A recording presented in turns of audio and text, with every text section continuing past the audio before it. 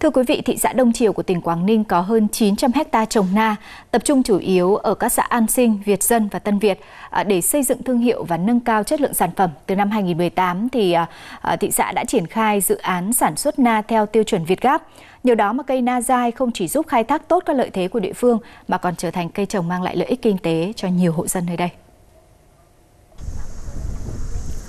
Gần một hecta na dai này được gia đình bà Phạm Thị Thơi, xã Việt Dân chuyển sang trồng, chăm sóc theo quy trình Việt Gáp từ 2 năm nay. Năm 2020, sản lượng quả na đạt trên 10 tấn, doanh thu trên 200 triệu đồng. Năm nay, nhờ tiếp tục áp dụng kỹ thuật thụ phấn cho hoa và chăm sóc theo quy trình Việt Gáp, nên cây na phát triển tốt, quả đều và đẹp. Theo cái chương trình Việt Gáp ấy, thì chúng tôi cũng đã được tập huấn. thì bà con cũng à, bảo nhau là làm để cho nó quả la nó vừa sạch vừa ngon, mẫu mã đẹp khi mà đến tay người tiêu dùng thì nó phải có chất lượng ngọt đảm bảo thì ờ, trong quá trình chúng tôi chăm bón thì toàn là phân hữu cơ thôi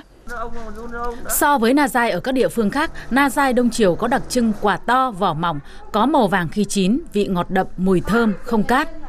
Một hecta na được trồng chăm sóc theo quy trình Việt Gáp ở Đông Triều cho sản lượng và doanh thu cao gấp 1,3 lần so với cùng một diện tích na trồng theo phương thức truyền thống. Những cái xe thu ờ, mua đấy thì thường thường là những cái tỉnh ờ, Tuyên Quang rồi Thái Bình rồi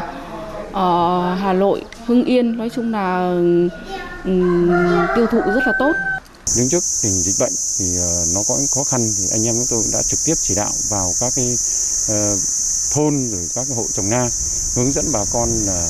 cắt tỉa giảm bớt những số lượng quả na trên một đơn vị diện tích cũng như trên một cây để đảm bảo nâng cao cái ờ, hiệu quả giá trị mẫu mã của quả na. Đông Triều hiện có hơn 1.000 hộ trồng na dai với tổng diện tích trên 900 hecta, trong đó có hơn 305 hecta đã chuyển sang trồng chăm sóc theo quy trình Việt Gáp, tập trung ở các xã An Sinh, Việt Dân và Tân Việt. Các khâu chăm sóc bảo quản na đều được giám sát giữa các hộ trồng na để đảm bảo chất lượng đầu ra cũng như vấn đề vệ sinh an toàn thực phẩm. Ờ, trong cái thời gian tới thì, thì ờ, thị xã cũng tiếp tục là duy trì và mở rộng cái diện tích na Việt Gáp cho người dân. Hai nữa là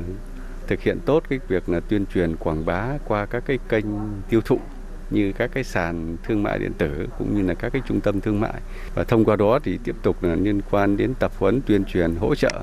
để cho người dân làm tốt hơn nắm tốt hơn để tạo ra cái sản phẩm na có cái chất lượng tốt nhất chỉ còn khoảng 2 tuần nữa, Na dài Đông Triều sẽ bước vào chính vụ. Thời gian thu hoạch kéo dài đến hết tháng 8. Năm nay, dự kiến sản lượng na của Đông Triều đạt khoảng hơn 10.000 tấn. 47 cân.